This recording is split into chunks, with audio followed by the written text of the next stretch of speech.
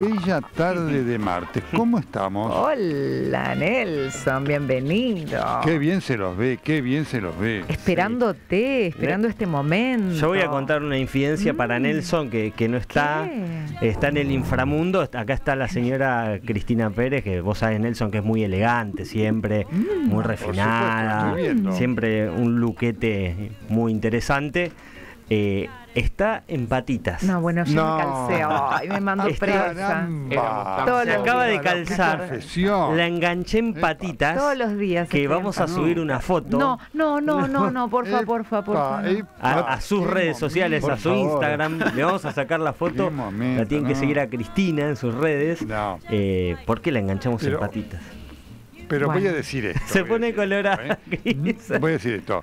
No conozco los pies de Cristina, Ok. pero Pero de- a ella los imagino pero- ser unos pies Sí. ¿Viste, Nelson, maravillosos. ¿Viste, Nelson, que hay, hay gente que, que hay mujeres que ven, tienen un, un fit fans, eh, eh, es decir, venden Sí, fotos de sus pies? sí, sí, bueno, sí. eh, efectivamente. tal Cristina vez podría hacerlo perfectamente. Tal, No, claro, tal vez estén, eh, estemos ante una oportunidad. No, no, no, no, no. Eso lo dejo para el presidente y. Fátima que publicaron.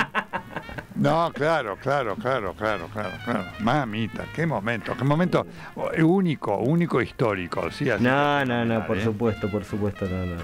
Bueno, una broma. una Bueno, si me dejas. Nelson, Eh, quiero, quiero aprovechar para saludar a mi papá que cumple años. Oh. Lo sé, me enteré, así que feliz cumpleaños. ¿En serio? ¿Cómo Por sabe? favor, uninos ¿Cómo a todos en este saludo. ¿En serio, sabes? No somos creer. periodistas, somos periodistas. Qué lindo. No, sos- ¿Cuántos cumple? Este, sabés que creo que cumple 76, papá, pero para mí mi Ay, papá no lindo. tiene edad, porque él Claro. tiene, tiene la juventud, en- tiene una, una personalidad joven, entonces Claro. yo separo todos los conceptos de edad de mi papá, así que siempre es joven. ¿Qué? Qué bueno. ¿Cuál- ¿Cómo se llama tu papá? Pepe, José Antonio se llama. Pepe, gran Pepe. a abrazo, Pepe, a, Pe- a Jo- Jo- Pepe, no José Pepe. Pepe. Muy bien, muy bien. Así que le mandamos un beso a Pepe. Qué lindo. Gran ¿Cómo te debe estar extrañando hoy que no estás en- allá, no? Y te confieso que si hubiera sido fin de semana me iba, como el año pasado. Mm. Ibas. eh, pero bueno, tocó lejos, pero viste que el amor siempre hace que uno esté cerca. Sí, una videollamadita. Por supuesto. Sí, sí. Así que el amor hace siempre que uno esté cerca. A veces se pone nostálgico Siempre. uno cuando en las fechas importantes está, Sí, está claro. lejos de la, Sí. de la familia, ¿viste? Sí. Pero también, no sé si les pasa a ustedes, yo descubrí que hay gente que puede estar cerca y sin embargo está a años luz Totalmente. porque en el Por corazón no está cerca y que cuando los vínculos son verdaderos, este, la cercanía viene por, por la autenticidad del amor. Sí, claro que sí. ¿No? Totalmente. Sin dudas. Absolutamente, absolutamente. Hay, hay cercanías que son eh, físicas que son absolutamente distantes. Cierto. Y es- y es muy eh, impresionante. era- sí. Gente sí, que sí. no se habla por años y está Sí. a, a tres cuadras. Es cierto. O, o parejas Totalmente. que comparten la misma casa y no se dirigen la palabra. Uh, Eso es para otro libro. O gente sí, que va, sí, sí. gente que va a cenar y están eso. cada uno con su teléfono y no se hablan en toda la cena. Uy, sí, sí. viste, viste, viste. Eso es tremendo. ¿Para qué van? ¿Para qué No van? vayan. No Claro. vayan. ¿Sabés No que sí? Eh, bueno, Yo observo mucho qué, eso. Qué lindo momento, ¿eh? La gente de al lado, así, miro. Y que vos puedes estar, puedes estar rodeado de gente y estar Sí, solo también. sí. Totalmente. Absolutamente. Uf, Porque hay ¿Sabés un- cómo pasa eso, Es que hay un concepto de conectar con los demás, que no tiene que ver con estar. No es lo mismo estar que conectar, ¿no? Es, es otra cosa. Y esto, estas épocas Pero- hacen que nos ensimismemos mucho. Totalmente, totalmente. ¿Y cuántas veces te, te ha pasado y nos ha pasado a todos los que estamos ahí en la mesa de tener que estar en, en, digamos, en, en situaciones con un montón de gente y vos te sentís tan aislado, ¿no es cierto? Y además con el deseo de decir, yo con, con esta gente no quiero tener nada que ver, ¿no es cierto? Claramente. Bueno, eh, y ni te digo, eh, ah, va, yo tengo la suerte de que, no sé ustedes, yo tengo la suerte de que los ámbitos donde estoy son ámbitos donde, es- no sé, la radio nos queremos todos. Sí. Sí. Por Eh, supuesto. Tengo entornos que no son tóxicos, Claro. Sí. pero es Pero te muy te duro. vez, me Es imagino, muy claro. duro cuando uno tiene un entorno tóxico, Sí. porque a diferencia de una pareja, de, de- de tus amigos que los elegís, ¿no? Cuando vos tenés un entorno tóxico, ojo que te puede enfermar. Sí. Claro que sí. Sí, uno no siempre elige con quién trabajar tampoco. también. No, no Hay- elegís. eh, claro, muchas veces en realidad. Afortunadamente algunos sí pueden, otros no pueden. Y trabajar con alguien que, que es tóxico eh, y no poder salir de esa toxicidad es complicado, ¿no? Y- imagínate un gobierno tóxico. Uf. como, ¿Te acordás? Uf, uf. Uf. Mamá. Bueno, el anterior tenía muchos niveles de de toxicidad. toxicidad. Claro. Este también tiene, Ah. eh, tiene niveles de toxicidad distintos Mm. y con menor intensidad, pero bueno, hoy, hoy caí en la cuenta, se fue el director de, un director del área de fiscalización pesquera, y el tipo es de la cámpora, se quedó 100 días en este gobierno. Eh, y El que era- hacía la vista gorda a, la- a lo- a los barcos chinos. Alguno, claro, alguno Sí, le hacía la vista Muy- gorda y con otros era muy celoso, dicen. Eso es lo, lo que Sí, me sí. dijeron del gobierno. Pero me entendés, ¿no? Sí. Que, lo- que, que se, se la dan de, de, de, de- Sí. de- de adalides de la soberanía Y, y elegía a quién le iba a permitir pescar. claro, ¿Me depende. Bueno, las malas lenguas dicen eso en el gobierno, pero digo, eh, un- tipos de la cámpora está lleno en este gobierno. Entonces es muy, Sí, es muy difícil para algunos dirigentes poner las cosas en orden. La un- l- Mm. Esto se ve claramente en las denuncias de casos de corrupción. Uno ve, por claro. ejemplo, Petovelo, Sandra Petovelo, que hace denuncias todo el tiempo, que tiene un- casi una brigada de fiscalización anticorrupción.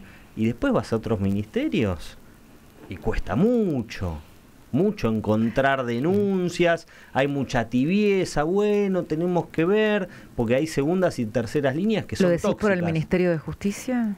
El Ministerio de Justicia es uno, eh, de hecho salió muy fuerte Mariano Cuño Libarona la- hace, hace algunos días, incluso habló en lo de Nico Viñaski, cuando le preguntaron más detalles, no, que está en la, que está en la justicia y qué sé yo, es, que hay es. miedo ¿por qué? por contarlo, que se hace a reglamento el trabajo contra la corrupción. Mira, eh, creo que es tan imprescindible lo que estás diciendo, Nacho. eh, y, y no sé si vos vas a coincidir, Nelson, o los chicos.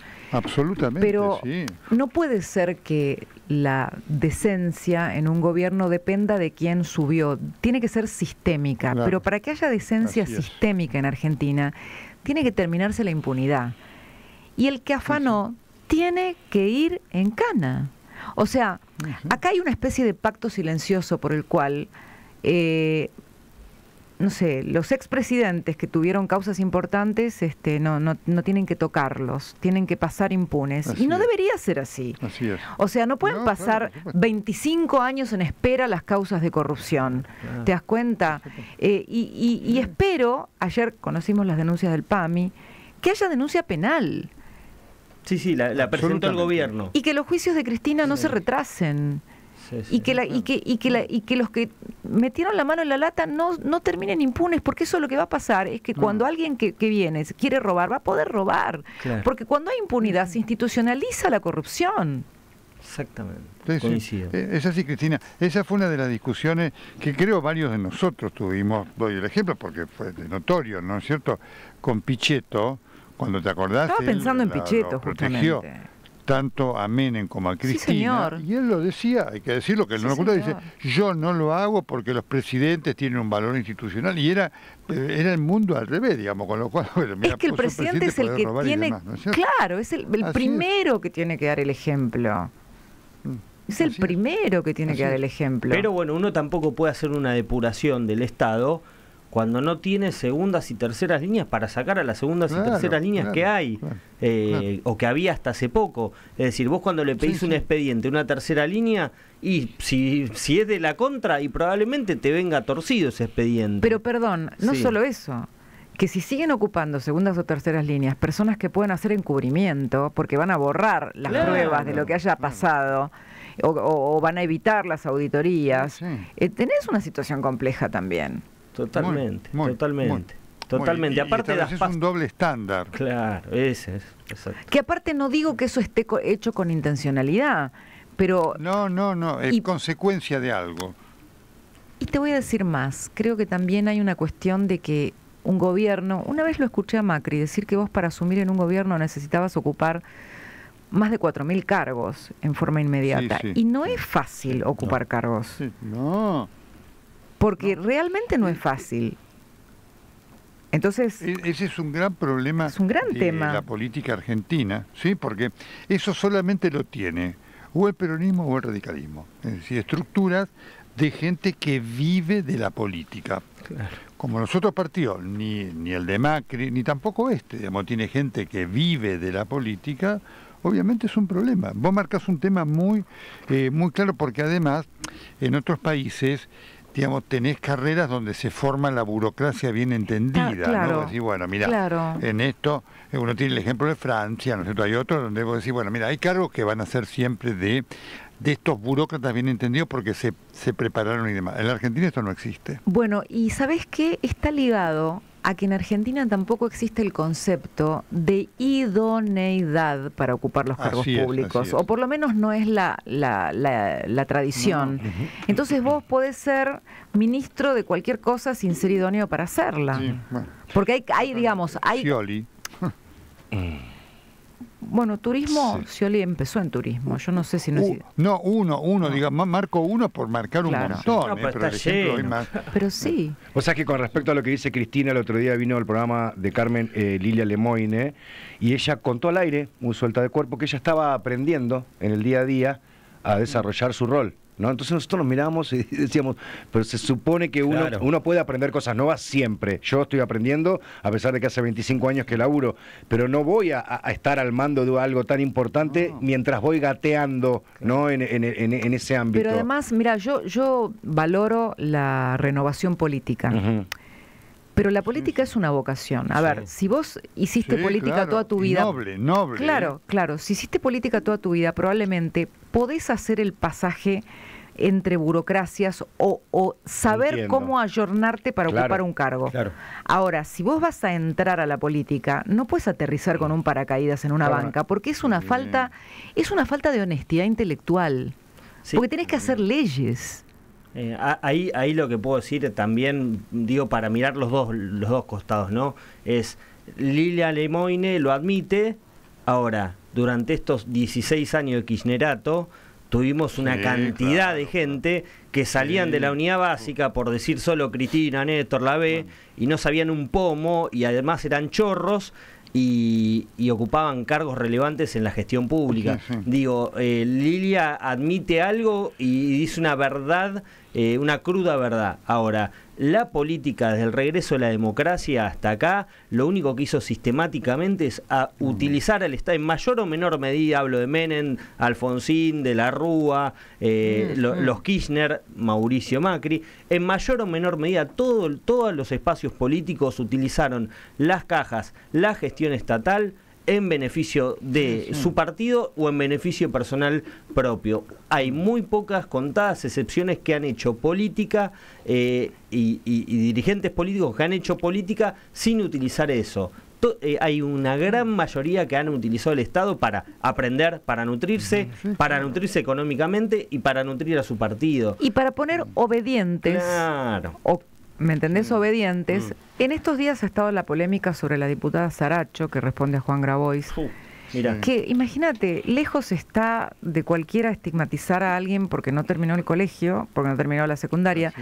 Pero y, y yo no sé si está capacitado alguien que no terminó la formación del secundario, por lo menos para, para poder hacer leyes. Para comprender un texto. Es más, no todo el que terminó una carrera universitaria está capacitado Claro, para, sí, para sí, hacer leyes, porque es una tarea muy específica, tenés que conocer de códigos, tenés que conocer de un montón de cosas que para hacerlo bien, Sí, y, y sí, sí, probablemente eh, no cualquiera está capacitado. No, pero está mal, te corren con la bandera de que estás discriminando a una pobre chica Sí, que sí, eh, se sí, superó, perfecto, se superó, creció, eh, buenísimo, que se ocupe de otra cosa, no de hacer una ley, Claro. no de interpretar un- una ley, no de interpretar un texto, no de hacer cosas que no está capacitada. No, y aparte se piden avales, se piden avales para presentar candidaturas. Me parece que lo que lo que debería, además de pedirse con los avales, que es muy fácil de conseguir, es que rindan quizás exámenes, que rindan quizás pruebas que demuestren que están verdaderamente capacitados, que pasen exámenes también, rinoscopía, llámese, Sí, de, sí. de distinto tipo de, de- de exámenes para, para también demostrarlo. ¿Estamos seguros que si a Saracho o, cual- o- o algunos otros diputados le hacían un test respecto a comprensión de texto antes de asumir sus bancas, iban a aprobarlo? ¿Hacen una, una prueba PISA? Estamos, estamos convencidos de que aprueban muchos diputados. Yo tengo mis dudas. Sí, yo y también. no solamente Saracho, Mm. ¿eh? Sí, tengo sí. mis dudas de varios No, muchos, diputados. Muchos, que quizás maquillan. Claro, que hablan de la educación y que no pasan una prueba PISA. Yo estoy seguro, pero seguro que hay muchos que, que, no tema. pasan un filtro. Y de- después te van a decir, no, que la representación popular, que el voto de la gente. Bueno, eh, bueno, si hay que ser a- eh, abogado para ser mi- mínimamente juez, bueno, te- cada cargo Sí. tiene, tiene que tener un requisito. Bueno, es que cuando hablamos Sí, de meritocracia, sí, lo que pasa es que acá es, es, es- es más amplio el tema, porque es cierto que los diputados representan al pueblo de la nación y hay diputados de distintos sectores. Pero hacen leyes. y de distintas extracciones, pero hacen leyes. O sea, vos no vas a ir al médico a, a ver a un abogado, no vas al abogado para que te diga si tenés anginas. Y esto es lo mismo, entonces Pero, tenés, sí, te- tenés una situación donde la persona no tiene la idoneidad para lo que tiene que tenerla. Y, y yo agrego algo, mientras le mando un saludo a Gonzalo Bonadeo, que nos manda saludos y nos está escuchando, ¿sí? Cristina, sí, todo. Eh, Gran abrazo, un Gonzalo. fenómeno. Sí, no solamente que no saben, eh, sino que no les interesa, que eso todavía es mucho peor. Cristina, sí, ¿cuántas veces uno eh, ve eh, diputados que jamás leyeron un proyecto de ley que, que, que se- que se hayan preocupado, ¿no? Para decir, bueno, a ver, voy a querer saber esto, ¿no? Eso es un problema muy, muy, muy, muy grave, eh, producto de esto de la idea de, de la política, de la política como curro. Mira, ¿no? yo Eh, siempre digo, está buena la diversidad de campos de, de Mm, conocimiento, sí. porque probablemente para la comisión, no sé, de salud o para la Mm. comisión previsional, si vos tenés abogados expertos en tema previsional, claro. si para la, la- la comisión, no sé, de, Mm. de finanzas tenés personas que conocen de impuestos, si tenés médicos que van a saber aportar proyectos Mm. de salud, etcétera, etcétera, está bueno lo variopinto en lo interdisciplinario Sí, claro que en una sí, cámara. sí. Pero tienen que ser personas que puedan ser capaces de elaborar una legislación, no Por que necesiten, eh, que en realidad estén ahí para ocupar un lugar o llenarse de, de asesores, este, o para levantar la mano en automático. Esto es lo que digo, que, es, que, que debería por lo menos considerarse. Y hay otro gran problema, que son las listas sábanas, que terminás votando a un montón de familiares, de parientes, secretarios, amantes y amigos. ¿Qué sé yo? No, no, Bueno, otro, otro Cristina. tema vinculado con esto, Nelson y Cris, es lo que le hizo Pérsico a las organizaciones sociales con esta Sí, mancha claro, tremenda. Es decir, probablemente el día de mañana, en algún momento, sea muy difícil para otro dirigente social volver a ocupar un lugar en desarrollo social porque hubo antes un, bueno, no sé, no sé cómo calificarlo, un desubicado que hizo con los fondos del Estado se los hizo propios, no digo que se los haya robado, pero se los autoadjudicó a una cooperativa bueno. del cual era- él era parte referente. Entonces, eso... deja una marca, ¿no, Nelson? Sí, eso no puede ocurrir, eso no debió haber ocurrido nunca, Ignacio, Cristina, digamos, ¿cómo vas a ser vos, digamos, el que le da a, a tu propia organización, porque además precisamente debe haber un funcionario independiente que audite, que vea, que Sí. controla, eso es un disparate que ocurrió con Pérsico y con Fernando el Chino Navarro, ¿se acuerdan ustedes? Perdón, y Grabois. episodio de las banderas, y Grabois, y las banderas, ¿te acordás aquel episodio de la de la plata que encontraron en esa auto. camioneta que Sí, iba a Luján en la pandemia con, Sí, con el Pero acto por ahí- el Papa, que no se lo crea nadie, ¿no? Pero ahí hay que volver al tema, al, al, al pecado original. No olvidemos que las organizaciones sociales fueron el método que tuvo Néstor Kirchner para adueñarse del peronismo bonaerense y de la Así calle. es, así Claro. es. para poner un camino paralelo para la ocupación del espacio público eh, y el control de la calle y, y- y financiándolos de tal manera que, que luego lo- los convirtió en funcionarios de su gobierno, empezando por Luis Delía. Claro, claro. Y claro, finalmente un Ministerio de Desarrollo Social que era un loteo de presupuesto y oficinas y Así cargos. es. Entonces vos tenías a la Cámpora, al movimiento de Grabois, al de Pérsico, al del Chino Navarro, que eran funcionarios y que también lideraban a, la- a las, a las manifestaciones de la calle, que atendían en los dos mostradores, Sí, sí, que sí, otorgaban los planes a sí mismos, ¿entendés? Qué desastre. Sí, sí, sí. De alguna manera. ¿Te acordás que ¿Te acordás que la misma Cristina los criticó después de la derrota del 2021, ¿no? ¿Te acordás que la misma Cristina los criticó a las organizaciones sociales, ¿no? A Pérsico y a Navarro, ¿no? Porque en ese momento Alberto Fernández era el que les aseguraba con la lapicera la, financiación, Exacto, los claro, fondos, y ellos le respondían al que le daba los fondos. Entonces hubo un momento, el gobierno de Alberto Fernández, donde lo único que tenía, porque el peronismo le había dado la espalda, y, to- y todos le habían dado la espalda, empezando por Cristina, lo único que tenía era la anuencia del- de, los, de los movimientos sociales a los que bancaba. Sí, sí, sí. Sí. Bueno, fíjate vos que esto que hoy anunció. A los que bancábamos, Alberti, ¿no? Esta- perdón, a los que bancábamos. Bancábamos, muy bien eso, ¿no? Esto del Instituto de Agricultura Familiar Campesina Indígena y el Consejo Nacional de Agricultura Familiar, que voy a decir, ¿cómo se nombraron a las 900? Porque un, nombramiento en un, en un lugar está público exige un concurso, digamos, ¿no? Decimos 900 personas, que vos no sabés lo que hacían, se gastaba el, el 80% claramente en salario de personas que no hacían nada. Vos decís, qué barbaridad, qué manera de co- copar el Estado, ¿no es cierto?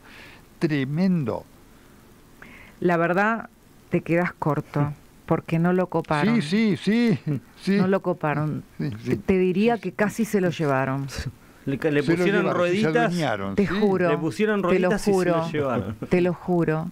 Sí. Es muy impresionante, es muy, pero por eso no alcanza con hacer la auditoría y contarla. Es más, No, no. este es el camino. De lo que haya, tienen que hacer la denuncia penal. Tienen que llevarlo a la justicia. Y la justicia tiene que actuar con lo que pasó antes. ¿Te das cuenta? Sí. Acá no puede haber. sí, sí, yo Mira, te lo voy a decir más grave todavía. Si la justicia no actúa o alguien impide que las causas de corrupción avancen, no me importa qué ministerio sea, es un pacto de impunidad. Y sí, y sí, y sí. Justicia, Y esto es, es así. es lo que dijo Luciani, señores. Es, es justicia o corrupción. Es, corrupción o justicia. No hay un punto medio en esto. No hay No, un punto no. medio. No, no efectivamente. ¿eh? Eh, fíjate que cuando a Menem lo condenan 25 años después, esto es producto de una complicidad de todo el sistema político y también del sistema judicial. Claramente, ¿no es cierto? Claramente. Eh, Perdón, Nelson, y a. Menem no lo condenaron, porque lo que decidió la justicia fue que no lo podía condenar porque se había pasado el tiempo aceptable para hacer justicia. Sí, sí, sí, sí, sí, sí, sí, sí. O sea, y, y no Eh, sabemos si era inocente o culpable en realidad. No, no, por supuesto. Y todas estas son estructuras eh, que pasan y que se sostienen en, en el tiempo, ¿no? Y de las cuales el peronismo hace gala. Claramente el peronismo hace gala y hace punta, ¿no? Bueno, ahí hay otro punto, porque fíjate que estábamos hablando del Senado, ¿no? El Senado fue un dominio del peronismo prácticamente en toda, Sí, en sí. toda la democracia. Lo sigue siendo porque la oposición se dividió. Eh, Absolutamente. porque si, si se hubiera cumplido el pronóstico de un triunfo No. de Juntos por el Cambio, por ahí hubiera sido la primera vez que el Senado no tenía el signo eh, el Así signo es. peronista, pero ya sabemos Así cómo es. terminó en un fracaso el experimento de, de Juntos por el Cambio por las propias internas. Eh, y hoy uno de los grandes desafíos que tiene este gobierno es poder lograr un nuevo equilibrio en el Congreso a pesar de su debilidad parlamentaria. Sí, sí. Efectivamente, es un tema clave, ¿eh? que además, por eso el hay que decirlo, ¿no? El 2025 va a ser un año, esa elección va a ser eh, crucial. ¿eh? Falta una vida y falta tan poco a la- Claro. al mismo Sí, tiempo, ¿no, Falta Nelson? una vida y falta tan poco, sí, sí, Sí, pero vos ya lo ves en perspectiva, uno ya lo puede decir, objetivamente, analíticamente, después pasará lo que pasará, digamos, cómo saldrá o demás, ¿no es cierto? Ahora, ojo, Pero porque claramente- mirá, ojo, porque vos tenés dos escenarios. Primero que la política no termina de reaccionar a cómo los interpeló No, el triunfo de no. Milei. Hoy no, No. tenés no tenés prácticamente líderes en la oposición a Milei. Así es. En No realidad hay. tenés, tenés tribus atomizadas en los distintos partidos. No hay liderazgos contundentes, hay liderazgos Sí, decadentes, ¿no? Eh, hay eh, Cristina es un liderazgo decadente ya, porque ella no tiene, no hay un futuro claro. político ahí, hay un futuro judicial. Y al mismo tiempo tienen que hacer no solo depuración, autocrítica, autointerpelarse de por qué estos 40 años no solucionaron los problemas en Argentina, sino que van a enfrentarse, si mi ley llega a, a- a avanzar con éxito en, en su primer año, van a vérselas muy jodidas. Bueno, por supuesto, por supuesto. Diga, claramente hay un fin de ciclo. No sabemos qué vendrá después, Cristina. De una un forma de hacer política Cristina. seguro.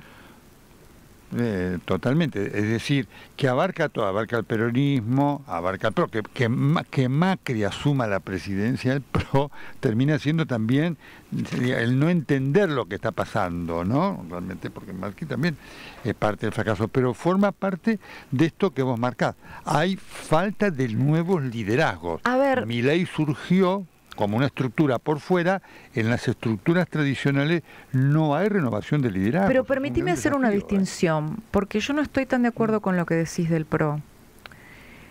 Porque Macri se corrió y dejó el espacio para dos candidatos. El PRO tuvo una interna. Sí. Llegó a una Sí, definición es- democrática. Lo que lo trae a Macri de vuelta es que tanto el Rodríguez Larreta como Patricia Bullrich no llegaron al objetivo final y en definitiva Bueno. vuelve el fundador del partido, pero en el caso de Cristina no hubo una vitalidad de sucesión porque ella de verdad se creyó lo que le dijo Diana Conti, que era eterna. No. O sea, no, Macri llega hoy al PRO porque sí. fracasaron los otros dos. Bueno, a eso me refiero, digamos, el hecho de, porque Macri también como tal representa un gobierno que no tuvo éxito. Lo que vos decís es cierto y yo lo comparto. Lo que quiero decir es que efectivamente no ha, él tiene que llegar ahí porque no ha aparecido un liderazgo nuevo que sea, digamos, eh, que permita unir a todos y demás. Así que la descripción que vos hacés yo la comparto absolutamente. Pero Producto Cristina de dejó tierra yerma, ¿viste? no, bueno, porque Cristina es así, digamos, eh, obviamente hay intencionalidades diferentes, ¿no? Cristina deja eh, tierra yerma, Macri quiere construir, pero lo que quiero decir que forman parte los dos de ciclos ya pasados y la gente está esperando nuevos liderazgos que no están apareciendo, es un verdadero problema para la política, ¿eh? Y me parece que en el caso del PRO también está la tensión. Yo creo que hay una, una coincidencia de visión del país entre el PRO y la Libertad Avanza, y hoy está la tensión de cómo preservar su identidad mientras siguen en la alianza con, eh, con la Libertad. Avanza. Absolutamente. De que no los absorban, de que mantengan...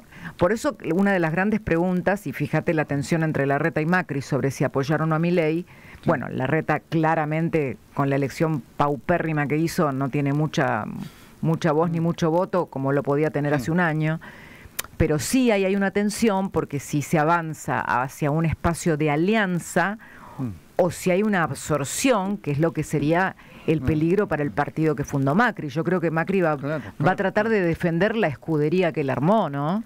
Sí, sí, sí, sí, sí, obviamente, está claro, tiene un verdadero desafío ahí, porque, eh, ¿sabés que se La ha extinción. generado ahí La el- extinción. la extinción, ef- efectivamente. Se ha generado un ámbito, que esto te, te impacta, se ha generado un ámbito de disputa y de pelea, que vos viste decir, Bullrich, Rodríguez Larreta, ahora Bullrich, Macri, además es una cosa que te impacta como tal, por lo debilitante que es, ¿no? Pero bueno, ¿Sabes qué pasa? Es que forman parte de, los triunfos, de comportamientos tremendos, ¿no? los triunfos ordenan y las derrotas, Sí. No. eh, viste, Sí. son complejas porque Son sí desordenan.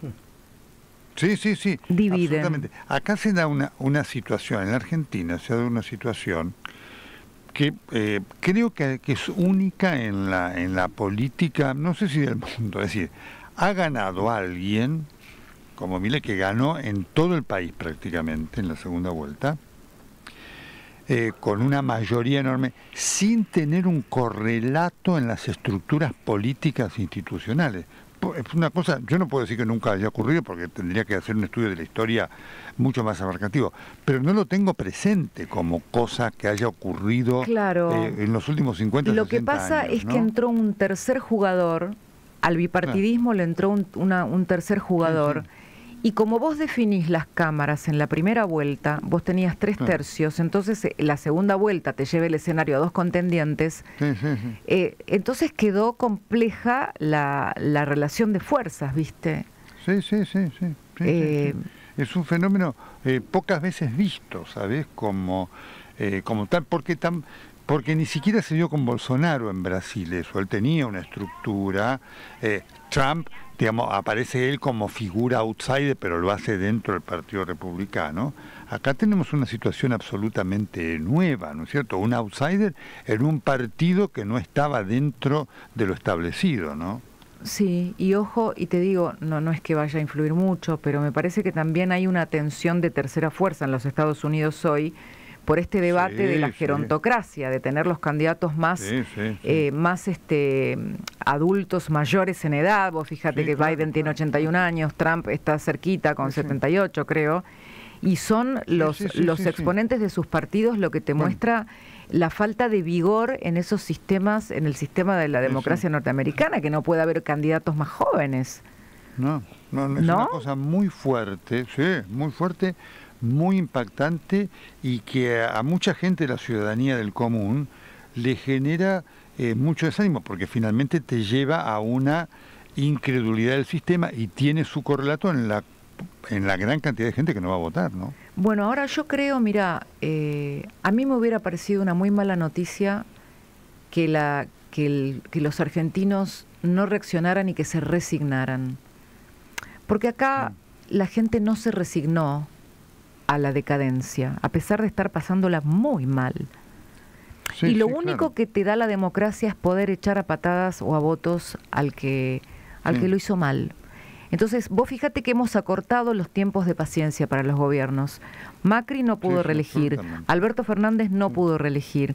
Y esto significa que hay un vigor en la sociedad- ciudadanía de Argentina, a pesar de los desastres que hicieron, a no resignarse y, si que lo- y que si lo haces mal, aunque te gastes cinco puntos del PBI como masa, Sí, sí, sí. no te quedás. ¿Me entendés? Y eso no está mal. No. No, eso está muy bien, ¿no? Eso está muy bien y ojalá se mantenga como tal. ¿no? Bueno, es la primera vez que se, que se aplaude un no hay plata. Eh, Eso, mm, que la gente aplaude a pesar de- de- del peor momento del año, que fue fin de año, con las fiestas y con todo el Sí, caos sí, que sí, se venía. sí, sí. Cuando se anuncia eso, la gente aplaudía como diciendo, bueno, a vos te voy a bancar, no te conozco, vamos a ver cómo lo haces. ¿No? O incluso ahora, estoy sufriendo, pero te banco igual Claro. porque lo otro era el tren fantasma y lo que nos trajo hasta acá. Es así. O por algo tan simple como no tomarnos los estúpidos de tratarnos como chicos con mensajes de festilindo Mm, y no claro. decirnos la verdad. Sí, sí, populista. Claro, claro, claro, claro. Porque también, Mm, es. también esto, esto de, de subestimar a la gente con mensajes edulcorados, con mensajes por el pueblo, con, con mensajes de... Ya no va más. ¿Entendés? O sea, esta gente que estaba gobernando antes, gobernaban el nombre del pueblo y te estaban metiendo la mano Sí, hasta sí, los sí, riñones. robaban. No, Sí, sí. Eh, Bueno, es así.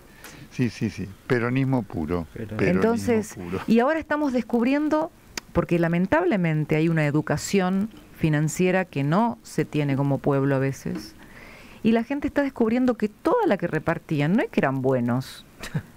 No, Totalmente. Obvio. De bueno, no te- Detrás, claro, detrás había un beneficio para ellos. Yo no sé No, cómo le va a ir a Milei, pero Milei fue exitoso en explicar esto. Claro. Sí, sí. sí, sí. En eso explicar, claro. en explicar que en realidad era un círculo que venía de tu bolsillo. Mm.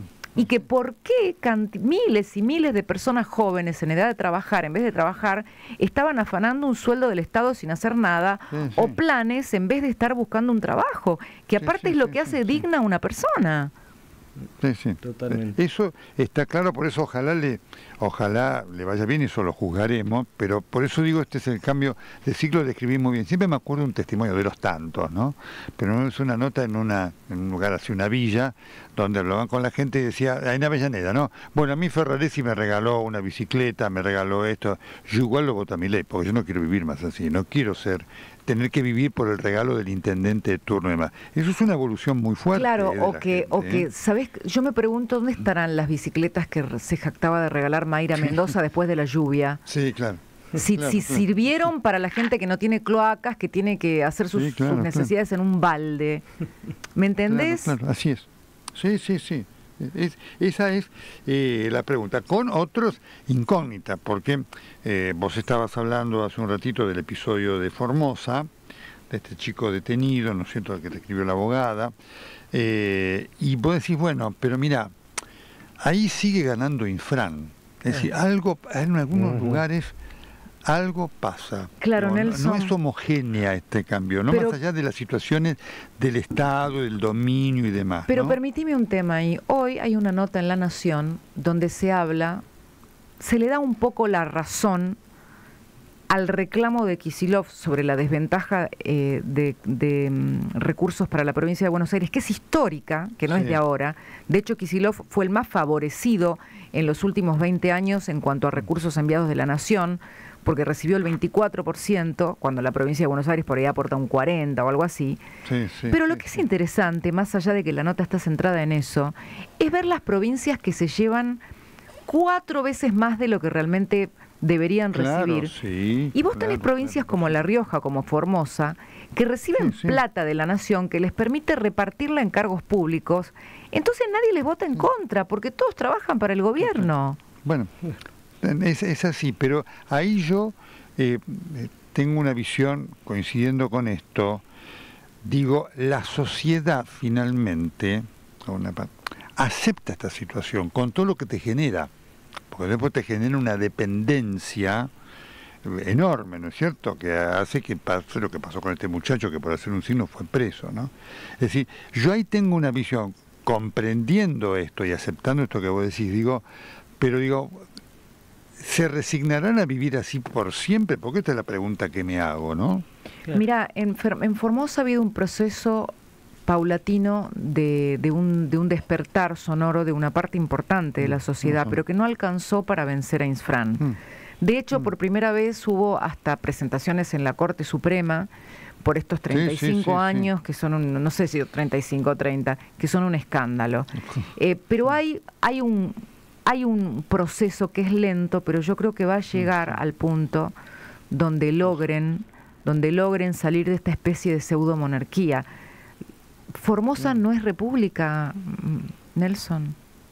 No, claro, no, no es así. Es feu- feudo monarquía, absolutamente. Ahí no tenés república, claramente. Claramente.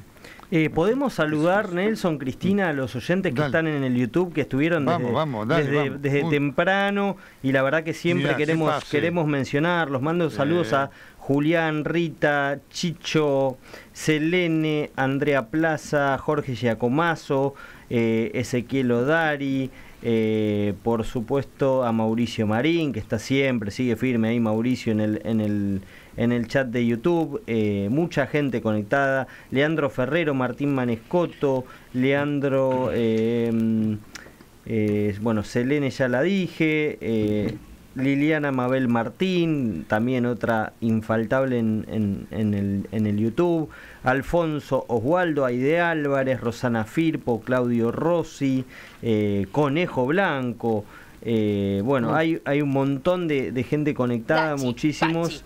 Eh, claro, Luisa Angélica Almirá, eh, Almaraz, Germán Ramírez, Carlos Cazón. Bueno, vamos saludando a medida que, eh, que se van sumando. Eh, bueno, está. Y podemos aprovechar para Sí. contarles Y beso que- de Cris, dicen. Beso sonoro Ay, de Cris. Eh, vamos, vamos, vamos, vamos. Exactamente. Un Fue poco. Uno más, uno más. Uno más Ah. así grabando. Ahí va, muy bien. Epa. No, y para contarles que, que Ari salió bien de la operación de la Sí. vesícula. Sí, sí. Sí, señor, Nos exactamente. pone muy contentos. Eh, bueno, imprescindible contarle eso a la audiencia, pero la gente se Oh, preocupa, lo quiere mucho. Y le van a Por eso no va a estar unos días con nosotros, Claro. ya va a llegar. Y la ausencia va a gigantar la importancia de su presencia. ¿eh? Sí, igual que rápido va, va, va a poder ir a su casa dentro de... Qué rápido es Sí. todo, ¿no? Ahora...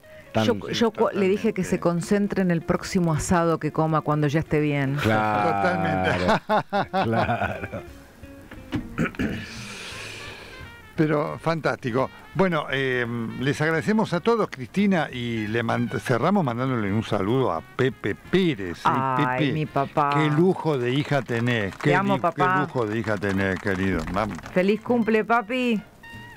Bueno, un beso muy grande. un ¿eh? beso grande, te quiero ¿eh? Y mucho, nos a Nelson. vos en esta alegría, a vos. Nosotros también a vos, querida, y a tu familia. Chao, mi amor. Chao, un beso, hasta mañana.